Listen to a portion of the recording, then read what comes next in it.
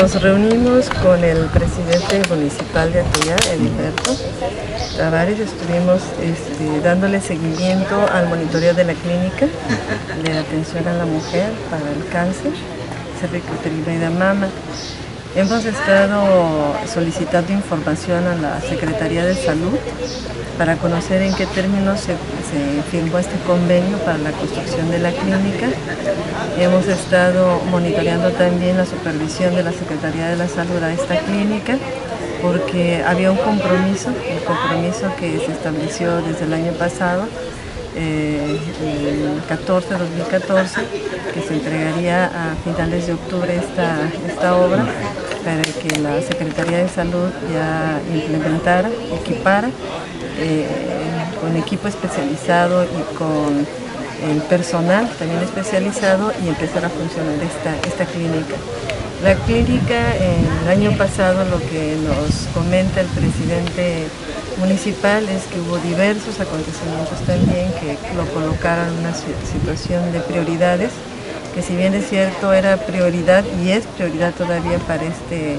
eh, presidente municipal la obra por el impacto y por la eh, por el impacto, por la deuda histórica que también se tiene este, con la población, no solo con las mujeres, sino con la población. Y también porque es una obra emblemática, es una, es una obra que va a tener repercusiones y que repercusiones a corto y a mediano y largo plazo y que también encontramos en, este, en esta administración esta voluntad de pactar, de que se construya esta obra, pero que bueno, también entendemos que hay, acontecimientos. Seguimos en el monitoreo como organizaciones. Eh, que hemos estado en, este monitoreo, em, viendo efectivamente cómo está, cómo está avanzando la obra eh, en los informes que nos entregó la Secretaría de Salud. Eh, hemos estado eh, monitoreando la obra, dándole seguimiento y el 9, si mal no recuerdo, el 9 de, enero se hizo también una conferencia de prensa donde se reanudaron nuevamente los trabajos, parte precisamente de este monitoreo y de la presión de las organizaciones para que pues ya concluya, ya que pues la salud no espera. En ese lapso también hay mucha gente que muere y sobre todo porque bueno es una mezcla de recursos entre la Secretaría de Salud y el Ayuntamiento. El Ayuntamiento está aportando, como ustedes saben, 5 millones y la Secretaría de Salud 4 millones 80 mil pesos. Este equipo ya se tiene, la Secretaría de Salud también ya nos ha confirmado a través del monitoreo que está el equipo, está el personal, están eh, todo ya listo para que la eh, clínica se eche a andar,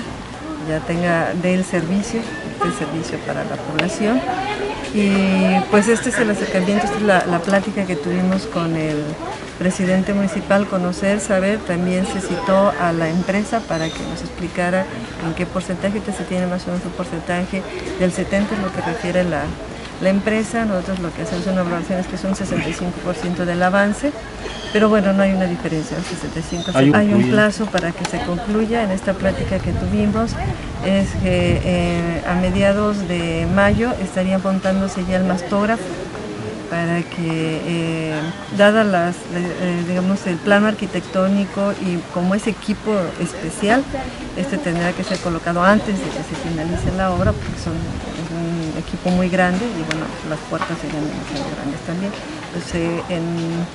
se colocan a, mediados de, mayo y se concluye, se está eh, pensando ya concluirse la obra totalmente en, junio. Sí, sí, sí creemos porque hay un convenio que se firmó el año pasado, hay un recurso que se, asignó del ramo 33. Eh, este recurso eh, se ha estado eh, a través de las administraciones a la empresa, se la ha estado otorgando y eh, todavía falta, le resta a la empresa por entregar un millón cien mil pesos. Sí creemos, creemos, eh, creemos que bueno, los procesos electorales tienen su propia dinámica, tienen su propia, pero el compromiso y las obligaciones que tiene cada mm, presidente municipal en la construcción de la obra es que no está determinada por los procesos electorales compromiso sí está, claro, estaremos como organizaciones exigiendo y demandando que se cumpla porque es una prioridad y porque tiene un impacto, voy a insistir, para la población de manera inmediata, a corto y largo plazo. Baje, a esta obra va a ser un precedente aquí en el municipio de Atoyac, porque la gente que se atiende se va a atender ahora, pero también la otra administración que viene va a seguir teniendo esa atención y bueno, esperemos que los que presidentes que, que lleguen aquí a Atoyac realmente sigan fortaleciendo esta obra que es un impacto es extraordinario.